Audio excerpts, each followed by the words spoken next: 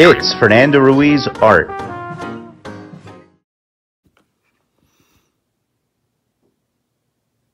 Hi, everybody. Thanks for tuning in, and let's get right into it. So, earlier this week, uh, I had I did another video, which was how to draw uh, a full figure of Archie. Uh, and somebody responded asking for a video on how to draw Jughead, which I really thought I had done. And I know I've, I've got videos. If you check my other videos, um, I have videos where I draw Jughead. And I think I have videos where, um, and they're the uh, the time lapse videos where I you see me draw him very quickly. Uh, and I have one where I color him, but I don't have any videos where I actually uh, draw Jughead.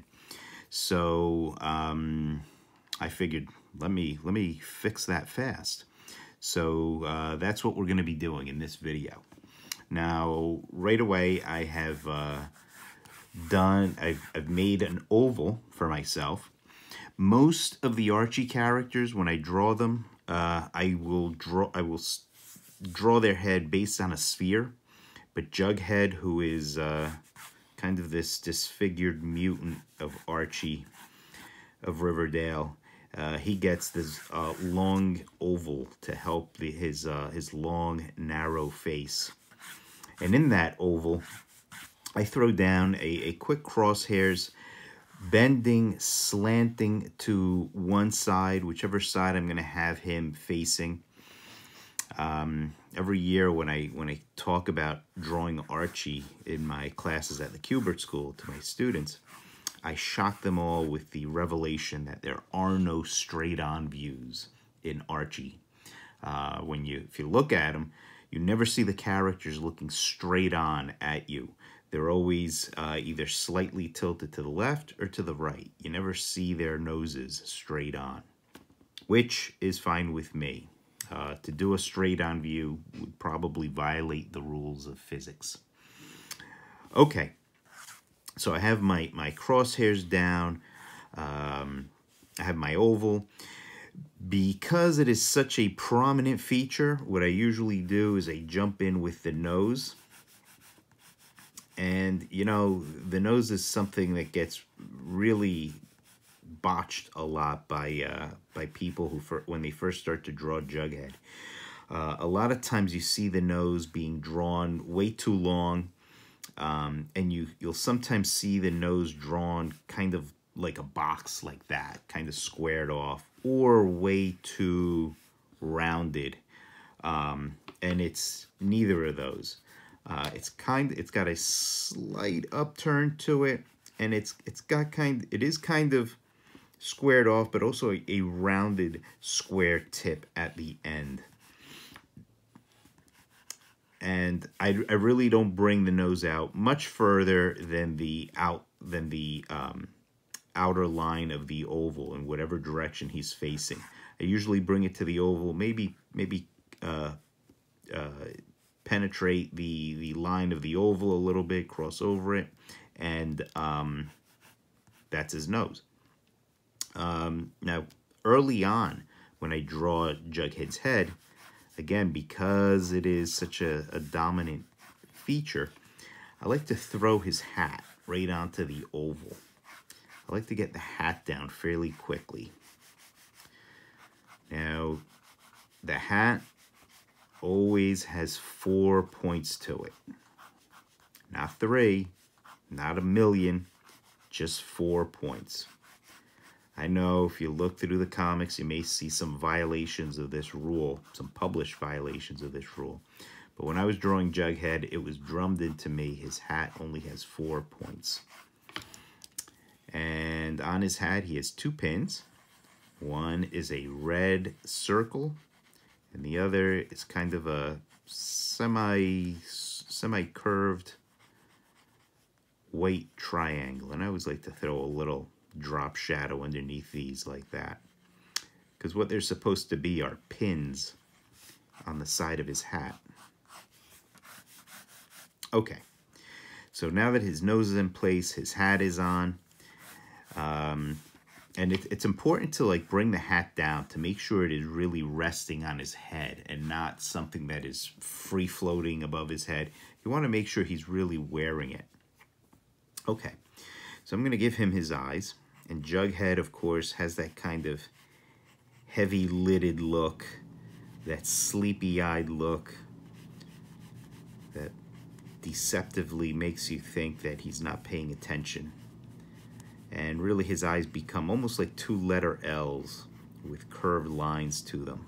And if you want, if you want a particularly sly Jughead, maybe you could give a little hint of some pupils. Give Jughead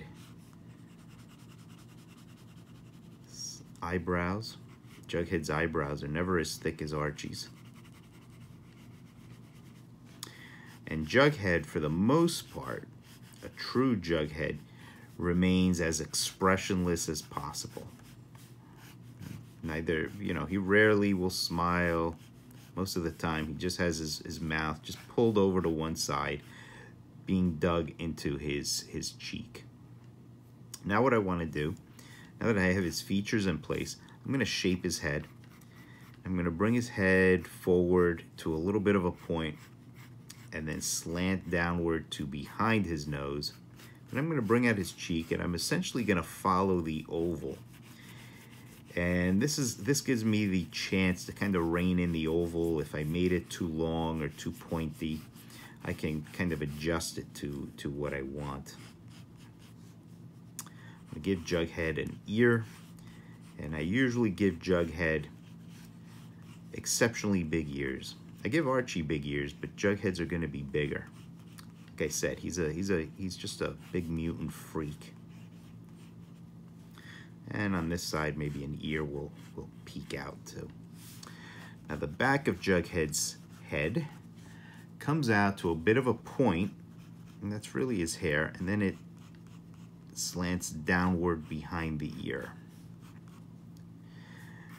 Now, his hair, Jughead has black hair, which kind of pokes out from underneath his hat. He has this sort of jagged sideburn, and I make his sideburns a little long because he's such a rebel beatnik. Original hippie, Jughead. I like to indicate a little bit of a uh, highlight in his hair there. And since his hair is black, I'm to shade it in. Now, there have been a lot of great Jughead artists over the years. Uh, Stan Goldberg was a great Jughead artist. Uh, Dan, DeCar Dan DeCarlo could draw the entire Archie gang, all of them, perfectly. My favorite Jughead artist of all time, though, the one who probably informs my Jughead the most, and uh, I've been very proud when people have caught on to it, is the great uh, Sam Schwartz.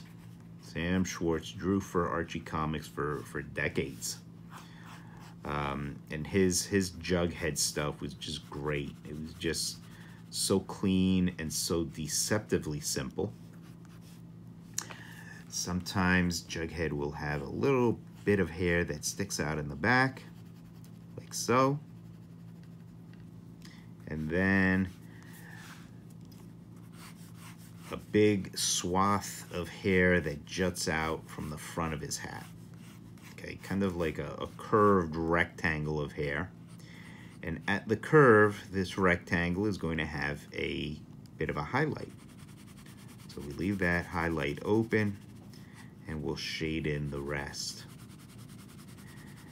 And sometimes Jughead's going to have a little bit of hair poking out from the other side. And poking back in. And this gives you Jughead's head. Sometimes in, in some real extreme close-ups, I may indicate a little bit of a, of a lower lip there. Sometimes I may indicate a little bit of a bridge of a nose.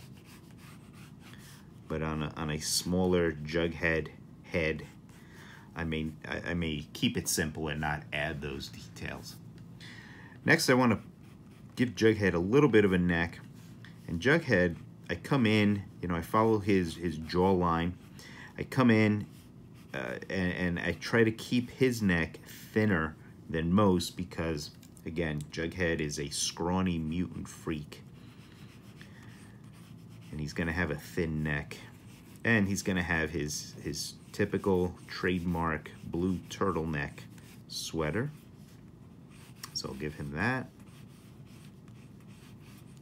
And he's going to have a little bit of hair hanging down in the back because, again, he's a long-haired hippie freak. And this is Jughead. This is how I draw Jughead. Uh, when I was working for Archie, Jughead was probably one of the most fun characters to draw. I know in most interviews I say Reggie, the bad guy, is my most fun character to draw. But Jughead is up there, and I think every artist who gets a chance to draw him feels the same way. Because believe it or not, for a character who is so devoid of emotion and expression, um, he is very animated. He has that skinny, very rubbery, animated body. And there's a lot you could do with him. So, uh, Jughead is, is really a fun character. So give him a try. I hope uh, I hope this video helped you out. Uh, and I hope it gave gives you some a few good tips that you might not have thought of before, a few looks at these details. If you have any questions, please let me know in the comments below. If you have any uh, suggestions, any comments at all, let me know in the comments below. If you enjoyed the video, please click like. Please subscribe if you haven't already. Uh, and if you have subscribed, please check to make sure you stayed subscribed. And um, above all else, keep practicing, keep drawing. Keep drawing, my friends. Keep drawing. Okay? Thanks a lot for watching, and I will see you guys. Oh, the most important part the signature. See? I really did draw this. Okay, everybody. Thanks a lot. See you in the next video. Bye-bye.